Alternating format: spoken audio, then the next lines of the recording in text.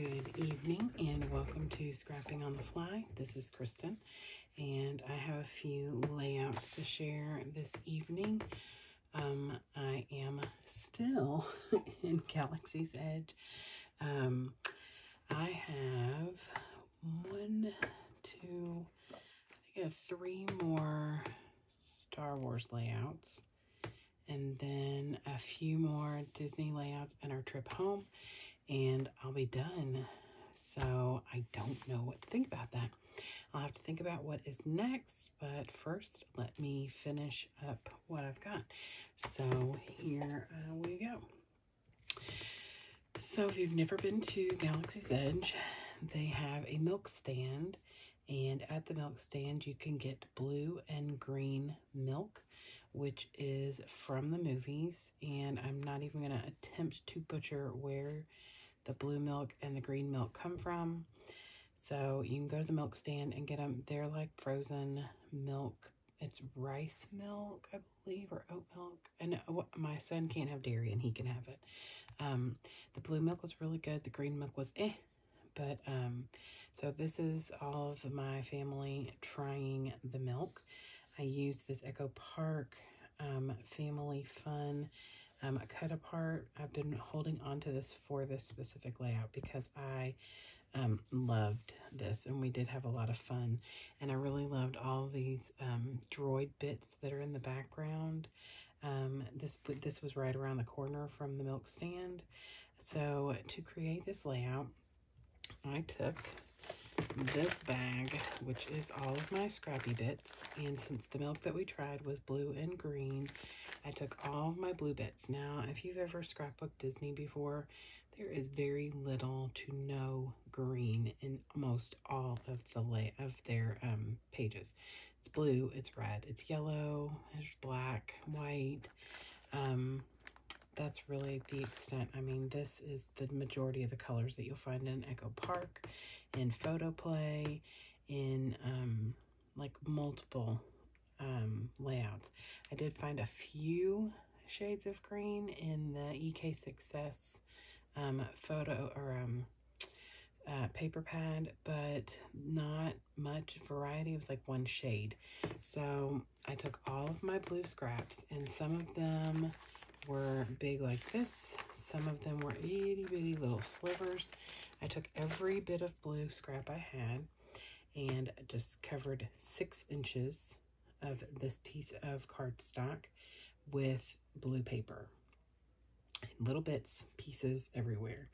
And just taped them down with either glue, double-sided tape. I'm using up these little um, mounting squares that I've had forever. They still stick really good and they're fine, but I'm just, they're not my favorite thing to use anymore.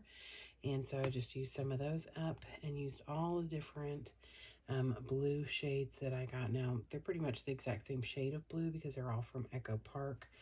Um, either the 6x6 or the 12x12 paper pads. Um, so I did that. And then I got into my, I have a pattern paper, since all this was pattern paper, I have a pattern paper drawer of scraps and I just pulled all the different shades of green. Um, I didn't want to go too dark, so I mostly stayed with like mint or a little bit of tealy, uh, this grass green, literally that's grass, um, like paper, it's got grass on it. And, and then I did the same thing over here. So once I did that, I took this tealy blue green. So I thought I was being very cool and um, bringing both colors together down the sides to um, cover up any um, little pieces that were not covered or just the ends. And then I took one right down the middle at six inches and also put it there. So this was the blue side, this was the green side. Matted my big picture, half in green, half in blue this picture in green, this picture in blue. I did not matte this. I did matte this in blue since I'm on the green side, but then I matted it in black so it would stand out, blend, and go with this and have a little more black on the page, not just this one. And then I already had these blue stars that I had, um, was take testing out a stencil that I created on my Cricut and testing out my um, Distress inks and so or I um, just had this loose paper and I'd been using it for uh, matting and tucking and things like that. So I got, I have four different sizes of Creative Memories circle punches and I just cut out however many stars there were. And then I decided that I would make the green ones so that I could do blue on the green side and green on the blue side. So I sprayed um, a, just a scratch peep, not a scratch piece, it's a scrap piece of white paper with um, all three of the shades of green that I have, um, which is Mowed Lawn, Twisted Citron, and Peeled Paint. This is like an army green, by the way. I'm, I'm learning. Slowly but surely I'm learning. And um, so I sprayed those and let them dry, kind of. Um, dried them a little bit with my heat tool and then punched those out with that same thing. And then I also did a stencil pull with the extra ink because I do not like wasting. So these two and this one are from the stencil pull. And so I just laid it down after I'd sprayed the stencil and got it through the holes on these. I took that this out and then laid a blank piece of white scrap paper down and picked up the outside parts. So I'm not wasting all that ink. And I love the way they turned out. And so I just popped up three of each color maybe just two of the blue, and um, just gave it a little extra texture and dimension. And then I had these little word for these little phrases um, for from a Mickey Mouse cut apart that came from the Sandylion um, kit. Memories, a place full of characters, yes.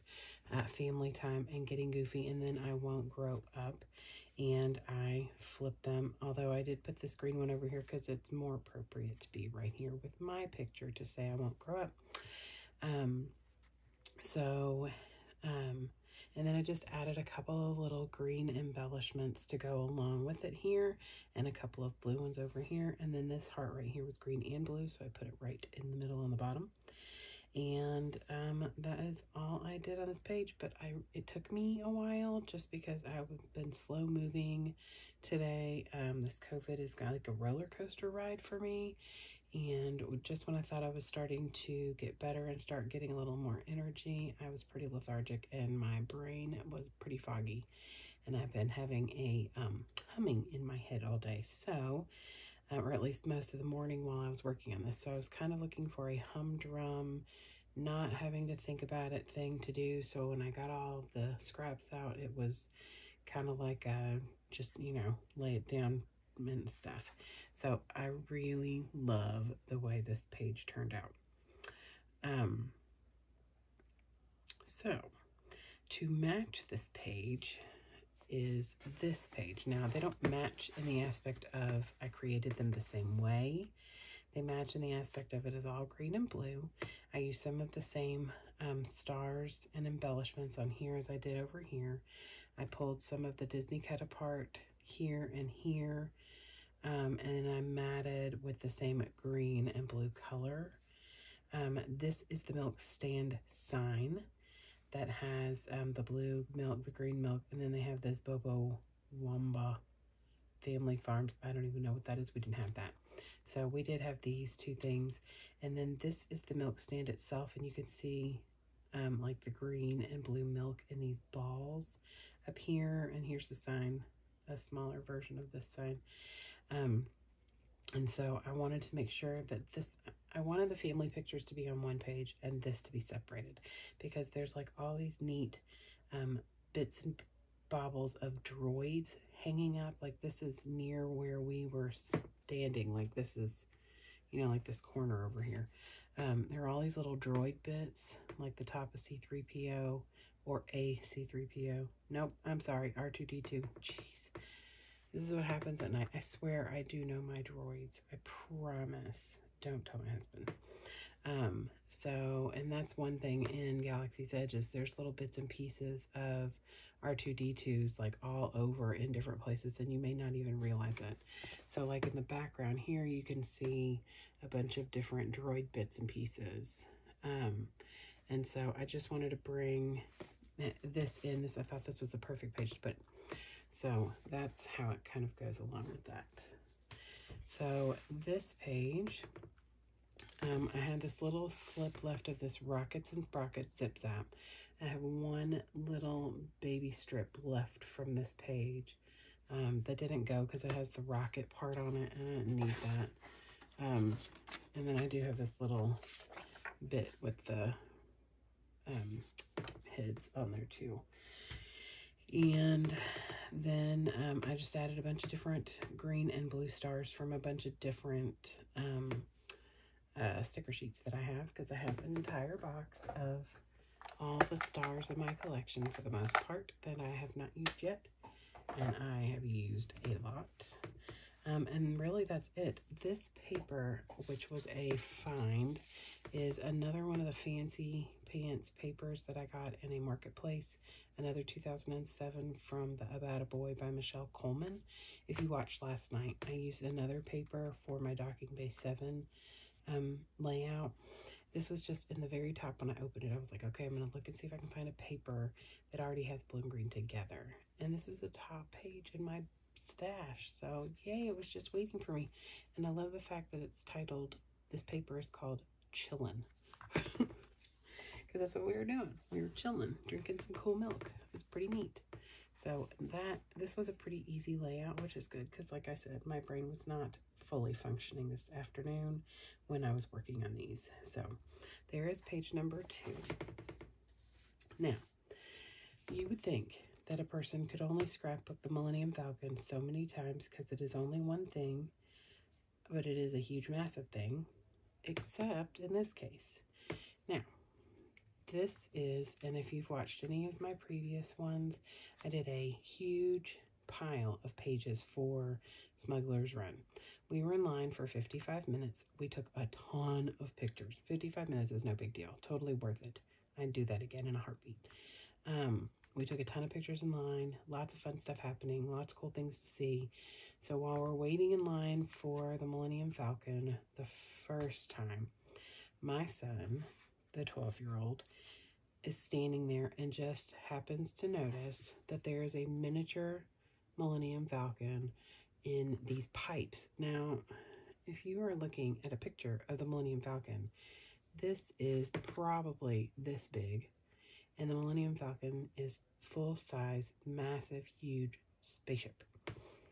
So, just happened to find this itty-bitty little Falcon that is in the middle of the pipes. And they, like, have to really point it out to me. So, um, I took a picture of it. It's already been scrapbooked, but it was a little baby picture. And I thought, you know, this is such a cool thing that who knows how many people have actually pointed this out. And I've looked at a lot of spoiler tips and cool things, um, and I've actually never seen anybody point this out. Now, I'm not saying my 12-year-old is the only person in the world who's ever noticed it. I'm just saying that I've not seen other commentary about it. So I have to look into it. So, this layout. This is a piece of craft paper that is just from the Color Box cheap $5 pack that I like to buy. Um, black, white, and this khaki um, craft color um, in these books. And I took my Distress Ink by Ranger Vintage, Vintage Photo, and I took my little dauber and I just distressed all the way around with the vintage photo. And then um, on the inside of where the vintage photo is, I distressed with some of the antique linen. Just a little because it doesn't, you know, on that craft paper, it doesn't make a huge impact like the um, vintage photo does, but it gives it a little blending to where it goes from this darker edge to a little lighter. And then I put a 9 by 9 square of this Cricut um, Star Wars paper with um, Chewbacca on it. And because he is one of the ones who flies the Millennium Falcon, I never saw him in person while we were there, but he was going to be documented. Um, and then um, this Millennium Falcon paper, I flipped part of it over, which is this Galaxy paper, and then um, used this part so that it has some of the actual Falcon um, picture on it. This is also Cricut Star Wars paper. Matted it on a tannish colored cardstock. And then I also um, took the ink pad directly to the paper instead of using my blending brush. I just took the ink pad straight to it and down the side. So it would give it this little um, dingy look, which is actually exactly what like this pipe right here looks like, which was what we were going for. When I say we, I mean me. And then I made a little miniature Falcon um, shaker pocket. And on the inside of the shaker pocket, I glued a picture of Finn, Rey, and Chewbacca, as well as a miniature picture sticker of the Falcon. Um, and then I distressed this as well, and then titled the page Mini Falcon. Got the sticker out of one of my Sandylion um, Star Wars stickers sets. And that is it. I enjoy how this did take some time because of the distressing and building the shaker pocket. And if you've seen some of my earlier ones, I did make a bigger shaker pocket for my other Millennium Falcon layout. Uh, it was called Wowza. Um, it was the first time my husband and my family saw the Millennium Falcon when we first got there. It was bad. I mean, just super awesome. I was going to say bad word, but I won't. so anyway, so this is just my miniature version. And it has little Mickey heads in yellow, black, and white. And some different um, just dollar store sequins. And um, I cut this out on my Cricut, cut the hole out, and then um, built it myself with some foam and the stuff on the inside, like I said, with the same distress inks that I used for the outside of this paper and I titled it Mini Falcon because it is, I was going to name it Falcon on a Falcon, but I did not want to have to do all that, and I like Mini Falcon better. And last but not least for today, yes, I know, I've already scrapbooked the Millennium Falcon multiple times, but it's just so cool. So, I already scrapbooked this picture. It's actually the cover page of the Smuggler's Run um, it's with a picture, a group picture of my family um, when we were going on the ride, and then this picture in color. I just decided that I really love the effect of the black and white picture. So I cropped the people out, except for these little bitty heads down here. Cropped the people out, did it in black and white, printed this one, which is actually a um, internet search picture because it incorpor it just encompasses the entire Millennium Falcon from a I'm not even sure you could get to a view as a, you know, non-staff person to take this picture because like this is where you enter to go to the ride. So this is like on the side where I'm at taking pictures and this is where you go in like where I was headed in. So I don't know what's over here to where you, if you could even take a picture like that, but I just wanted this picture that would just show you the enormity. That's not even a word how big the Millennium Falcon is. Like it is life-sized, big Mama Jahama. So I used this You Are Amazing um, to title this page.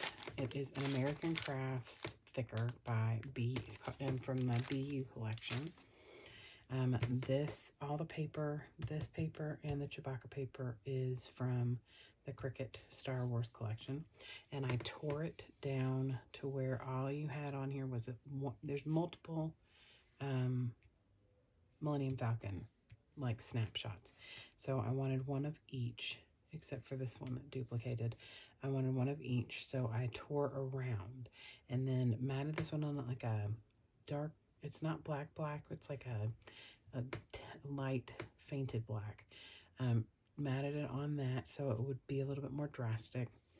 Matted this on white and then matted it on this glittery shiny black. But I kind of offset matted it so that it would have a bigger border here. Lined it with this um, washi tape because this washi tape is on the other side, I believe, of the matching page that this will be on um, added this little Chewbacca paper.